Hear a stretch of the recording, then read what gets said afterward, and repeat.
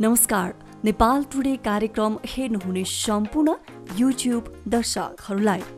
सबैभन्दा पहिले सब्सक्राइब लेखिएको यो अक्षरमा क्लिक गर्नुहोस्।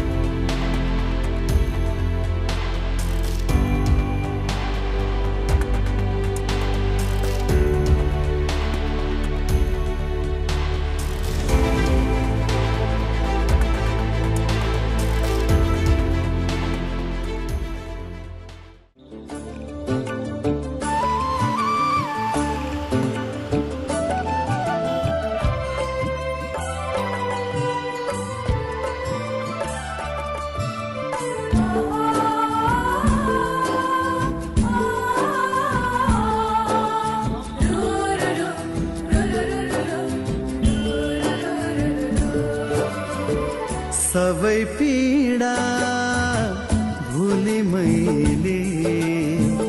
इलामको बसाइमा। सबै पीडा भुले मैले। इलामको बसाइमा। स्वर्ग खुले जस्तो लाग्यो मलाई।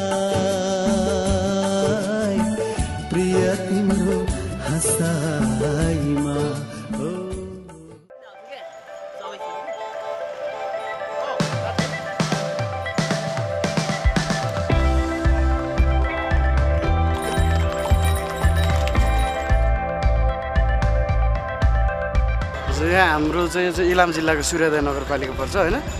सूर्योदय नगरपालिका यो चाहिँ पर्यटन क्षेत्र पनि हो।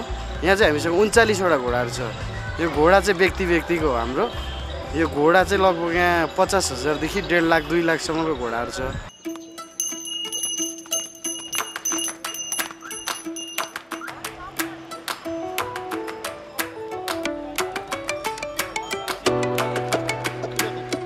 उन्चालिसवटा घोडाको चाहिँ हाम्रो एउटा युनिटी छ। युनिटीमा चाहिँ अब हाम्रो पालो सिस्टम सेन्डिकेट सिस्टम एक तालमा दस दसवटा गरेर छुट्याइन्छ। अनि त्यस बापत हामीले यहाँ चलाए बापत चाहिँ नगरपालिकालाई सालको लगभग तेइस हजार चार सय जति एउटा घोडा बराबर बुझाउनु पर्छ त्यसमा चाहिँ अब हामीलाई नगरपालिकालाई चाहिँ केही पनि दिएको छैन। सबै घोडा जतिको ल्याए पनि यहाँ आफ्नै खुसी छ।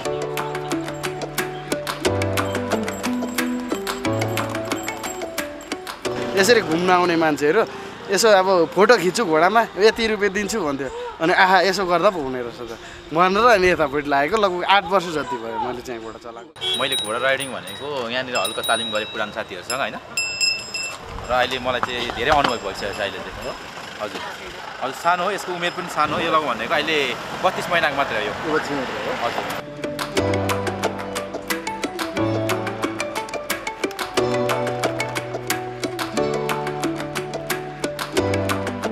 त पहिल्यैदेखि चलेको हो। यो बाहन्न त्रिपन्न सालबाटै सुरु भएको हो। अहिले चाहिँ सदाबहार चलिरहेको छ यो। रेम्बो थियो रेम्बो पछाडि भाइ त्यहाँबाट यो डल धेरै चार पाँचवटा फेरिसक्यो। मैले बाहन्न सालदेखि यहाँ चलान गरेको। यो डाँडामा यति यति तिते गाडी थियो।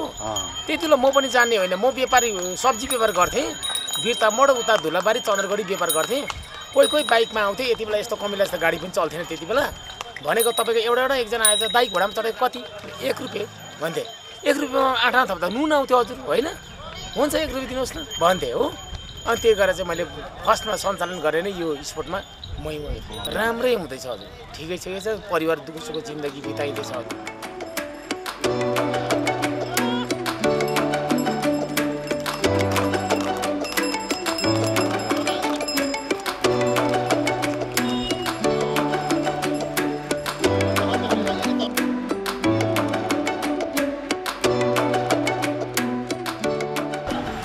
मैले दुई वर्ष भयो त्योभन्दा अगाडि चिया बगानमा काम गर्थेँ अ, यो अब चिया बगान पनि यहीँ थियो हाम्रो घोडा व्यवसाय पनि यहीँ थियो त्यो कारणले गर्दाखेरि त्यताभन्दा अलिकति यता फाइदा भएर चाहिँ यता मैले हजुर अब भनेको अहिले त अफ सिजन हो होइन? अब गर्दाखेरि असोज कार्तिक मङ्सिरमा चाहिँ भनेको चाहिँ त्यस्तै हो। पाँच हजार छ हजार त्यस्तै सिजन चाहिँ कार्तिक मङ्सिर पुस चाहिँ मेन सिजन हो। त्यतिखेर चाहिँ अब लगभग दिनमा चार पाँच हजार कोही बेला चाहिँ अब मौका पऱ्यो भने सात आठ हजार पनि हुन्छ तर यतिखेर अब बिहान म बिहान छ बजी निस्केको यहाँ अहिलेसम्म बल्ल दुई टन खाँदैछु। ए, महिनाको लग भनेको पच्चिस तिस हजार रुपियाँ चाहिँ हुन्छ। बाहिर जानु पर्दैन आफ्नो घर। परिवारसँग बसेर होइन। यो व्यवसाय गरिरहेको छु म खुसी नै छु सन्तुष्ट छु आनन्द छु आउने पर्यटकहरूलाई उहाँहरूको इच्छा अनुसार होइन हामीले घुमाएर ठाउँहरू देखाउँदै देखाउँदै उहाँहरूको सन्तुष्टि दिलाउँछौँ हामी। यहाँ पर्यटक भनेको बाहिर देशको धेर चढ्छ लामो दुरी अब यो खैरेहरूले चाहिँ भनेको चाहिँ काँड सिकेको हुन्छ पनि उनीहरूले आफै राइड गर्छन्। जस अब एरिया चाहिँ देखाउँछ म्याप लिएर आएको हुन्छ उनीहरू। अल्टो अल राउन्ड चाहिँ आफै उनीहरू राउन्ड गर्छ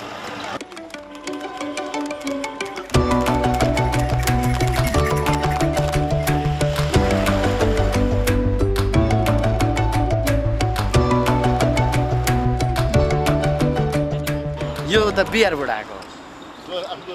हजुर आफै भन्दा पनि एउटा साथी छ उहाँबाट व्यापारी नै हो घोडा व्यापार गर्ने बिजनेस गर्ने। उसले चाहिँ यस्तो घोडा चाहियो मलाई यस्तो कलरको यत्रो यति उमेरको यस्तो चालडाल भएको भनेपछि ठ्याक्क ल्याइदिइहाल्छ अँ। यहीँ ल्याइदिन्छ। गो जहाँ नै उसले हामीलाई बोलाउँछ होइन घोडा हेर्नुको लागि अनि यो चाहिँ घोडा मन पऱ्यो दाम काम गऱ्यो अनि फल्ना दिन म झारिदिन्छु भनेपछि टक्क झारिदिन्छ। हामीले मेल मात्रै हजुर। फिमेल यहाँ राख्नै दिँदैन। हजुर यहाँ उन्चालिसवटा मेल मात्रै छ फिमेल ल्यायो भने फेरि अलिक बदमास हुन्छ क्या। अँ त्यही भएर यहाँ राख्नु दिँदैन।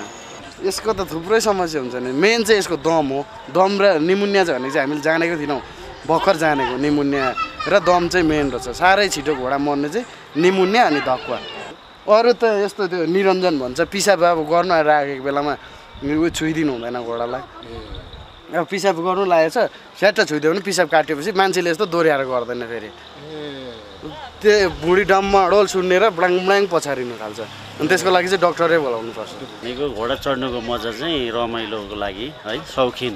सहर बजारमा धेरैतिरबाट अब बजारमा बसेर एउटा वातावरण हरियालीमा आउँदाखेरि घोडा पनि देखियो जनावर पनि देखियो चिया बगानको हरियालीमा।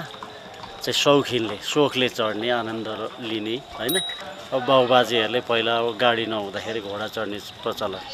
अनि अब बाउबाजे बराजुहरूले हामी घोडा चढेको। अहिले आएर चाहिँ यहाँ इलाममा आएर घोडा चढ्न पाइयो।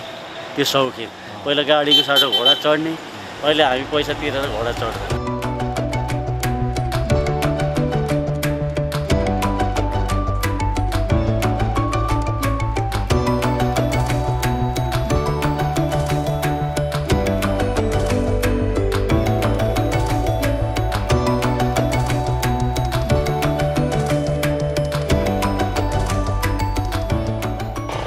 बोतल सारबाट चाहिँ सुरु गरेको हो। यो अहिले अब सङ्घ गठन गरिकन राम्रै छ हामीलाई। अहिले नगरबाट नि हेर्दैछ टर्न बाई टर्न घोडा चलाउने। पहिला टर्न बाई टर्न थिएन। अहिले टर्न बाई टर्न घोडा चलाउने हुँदाखेरि धेरैवटा घोडा उन्चालिसवटा घोडाले चाप तार्न नसकेर दसवटा दसवटा घोडाहरू छुट्याइरहेको छौँ हामीले। अनि टर्न बाई टर्नमा घोडाहरू चलाउँदैछौँ। घोडा चढाउँदाखेरि मान्छेलाई हामीले छुनु नपरोस्। कसैको अब श्रीमान श्रीमती आएको हुन्छ बोयफ्रेन्ड गर्लफ्रेन्ड आएको हुन्छ हामीले छुको मन पराउँदैन। होइन हामीले चाहिँ भरसक नछुकिन यस्तो चढ्ने सिँढीहरू ल्याइदिनु भनेर चाहिँ माग गरेको तर अहिलेसम्म हाम्रो माग चाहिँ पुरा भएको छैन। अरू अनि हामीलाई यहाँ घोडाको यो बस्ने तबेलाको साह्रै अव्यवस्थित छ। योपालि चाहिँ पाँच लाख रुपियाँ बजेट छुट्याइदिएछ भनेर आश चाहिँ छ होइन? उन्चालिसवटा घोडा अट्ने एउटा व्यवस्थित उयो तबेला बनाइदिने भन्ने कुरो थियो तर इन्जिनियर साहेब आज आउने भन्नुभएको थियो। त्यो पनि अब अहिलेसम्म आउनु भएको छैन। घोडा चलाउने समयमा यो युनिफर्म लगाएपछि अँ अब खुल्ला सिगरेट खानु पाइँदैन होइन? अनि खैनी खुल्ला खानु पाइँदैन अब यस्तो मद्यपान गर्नु दिँदैन। त्यस्तो गर्नै अब इच्छा छ। हाम्रो साथीहरू पनि कतिजना खाने छ अब खान्छ उनीहरू भने टक्क घोडा बान्छ युनिफर्म फुकाल्छ आनन्दले होटलमा बसेर खान्छ बेलुका सरासरी घोडा तानेर घर जान्छ। अब बिहानै आयो यस्तो लायो। अनि घोडा चलाउँछु भन्यो भने हामी दिँदैनौँ। अब हामी त खाँदैनौँ। हामी दिँदैनौँ। अब उसले चाहिँ बाइचान्स लडायो। अब त्यो मान्छे एक्सिडेन्ट गऱ्यो भने पहिले हामी मापासी गर्छौँ। बिरामी उठाउनुभन्दा अगाडि। मापासे गर्छौँ उसले मापासे गरेर घोडा चलाएर त्यस्तो एक्सिडेन्ट गराएको सबै उसले गर्छ। उसले खाएको छैन घोडाले अन्जानमा एक्सिडेन्ट गर्यो फेरि हामी सङ्घले गर्छौँ। त्यस्तो।